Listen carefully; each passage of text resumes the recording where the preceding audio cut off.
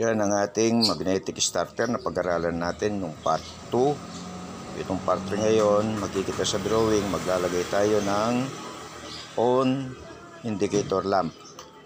Ilalagay lang yung linyang yan ng lamp natin. Kukuha tayo ng isang linya ng lamp doon sa ating auxiliary normally open. Yung auxiliary normally open, pag nag-energize yung ating magnetic contactor, ay magko-close yan kasi normally open siya.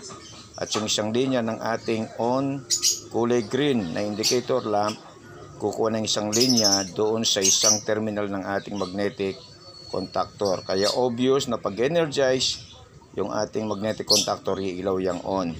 Ngayon ito namang stop or uh, off indicator lamp, kukuha tayo ng isang linya mula sa ating terminal ng ating start or stop push button ilalagay sa isang auxiliary na normally close auxiliary contact. Yung normally close pag nag-energize yung ating contactor mag-o-open yan. Kaya ngayon patay siya naka-close siya. Yung isang linya ng ating auxiliary naman tatakbo sa ilaw ng ating stop indicator lamp. At yung isang terminal ng stop indicator lamp o off indicator lamp kukuha ng isang linya sa ating magnetic starter. Yan, yan ay kulay red po. Yan. So, kapag ka patay siya, naka-close yung auxiliary contact, nakailaw yan.